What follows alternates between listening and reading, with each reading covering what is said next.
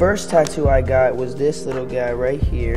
It's uh, based on this book that my whole family read. Everyone's got it on their wrist, and it was right before I really had any tattoos. And so I wanted to make sure that it wasn't visible, and so I put it down here. And basically, it's about this seagull who wanted to be more than just a seagull.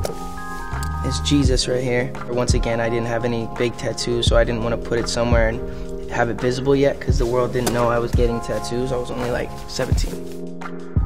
Uh, my favorite tattoo is probably my new one. I really like this one. It took about three and a half hours, almost four hours. And the, the worst part about it is I had to be like this for so long and it was just mad uncomfortable. This one uh, means a lot to me. It's my mom's eye. This is my mom's birthday.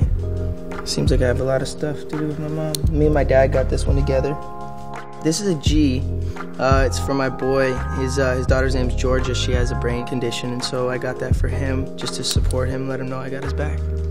This is uh, owl, signifies wisdom. X means unknown. You know, they might be know my uh, the shell of me, or they might know the artist, but not necessarily me. Uh, this is my ex-girlfriend, so I kind of try to cover her face up with some shading, but people still know.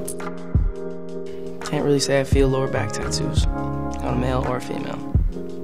I think David Beckham has a lower tramp stamp, and that's no good. Oh, this one's really cool.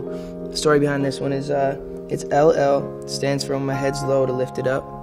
Just to never keep your head low and always uh, look for the better days. And so this was me hanging out on my GQ cover shoot. Thank you so much for hanging out with me. Um, what else? Uh, those are my tattoos, and uh, I'm out of here.